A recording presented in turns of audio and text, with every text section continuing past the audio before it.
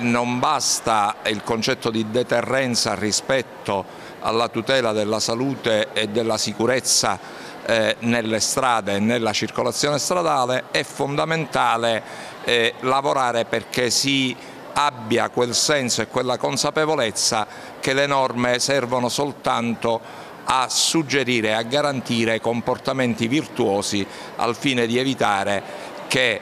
eh, dopo i fatti qualcuno eh, abbia a pagare le conseguenze e soprattutto eh, gente eh, innocente perda la vita per la imprudenza di altri. Dovessimo parlare di dati, Palermo come è messa rispetto al resto d'Italia? Guardi, Palermo diciamo, siamo eh, in realtà nella media delle grandi città dove eh, succedono eh, incidenti, ci sono periodi in cui eh, incidenti più o meno gravi, eh, dico, recentemente abbiamo avuto quattro episodi eh, sicuramente con evento eh, letale, ma eh, al di là delle statistiche, delle fredde statistiche, è importante eh, agire per salvare la vita delle persone. Via Libertà da qualche anno è diventata una via pericolosa, ma cosa bisognerebbe fare di più a questo punto? Eh, via Libertà è un asse pericoloso, ogni, ormai ogni 100 metri c'è un, eh, un, episodio, un ricordo di qualche infausto eh, incidente o accadimento, eh, non sempre è sufficiente mettere limiti di velocità,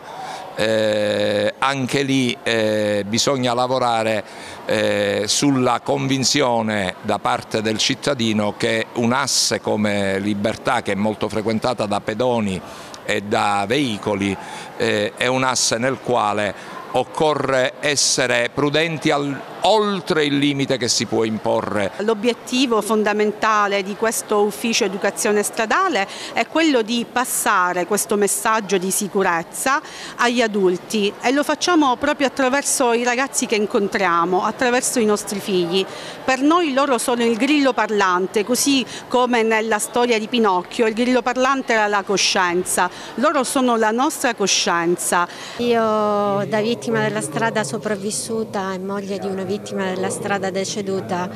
credo tanto che l'impegno di tutti e quindi sia necessario l'impegno di tutti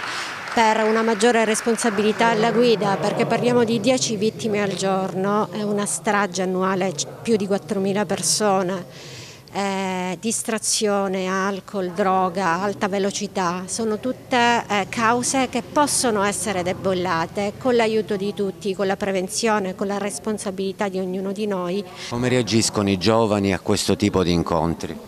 Diciamo ormai ci siamo abituati al ad